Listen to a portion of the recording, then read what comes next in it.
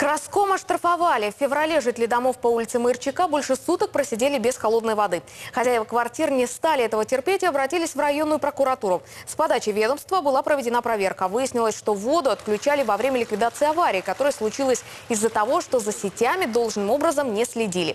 Теперь компания должна заплатить жителям 31 тысячу рублей. Но, возможно, это не последний штраф.